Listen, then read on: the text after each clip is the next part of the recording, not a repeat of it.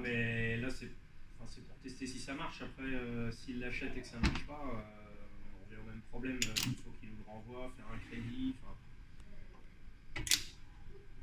ça peut être 6 heures. Moi, je peux faire le call depuis chez moi, il n'y a pas de problème. Ça.